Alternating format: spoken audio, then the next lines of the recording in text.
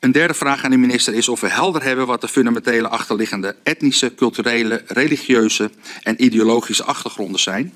En wat de achtergrond is van de daders en wie in brede zin de aanjagers van antisemitisme zijn. Waarom wilt de partij dit weten? Want bij iedere vraag hoort een bepaald handelingsperspectief. En ik hoop dat ik daar een serieus antwoord op kan krijgen. Dat als je uh, een probleem wilt oplossen, dan zul je het wel moeten benoemen wat de oorzaak van dat probleem is. En dat is het enige waar ik om vraag. Waarom wil de PVV dat weten? Wat is het handelingsperspectief? En als ik daar geen antwoord op kan krijgen, dan denk ik dat de vraag stellen dat je dat überhaupt al niet zou moeten doen. Er ligt een gigantisch probleem voor ons. Documenten, uh, rapporten.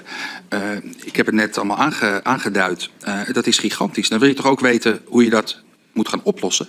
Ik denk dat het fundamentele punt juist is dat je door etnisch profileren en te vragen naar etniciteit nooit een probleem oplost. Maar wellicht zinkt dat ooit nog in.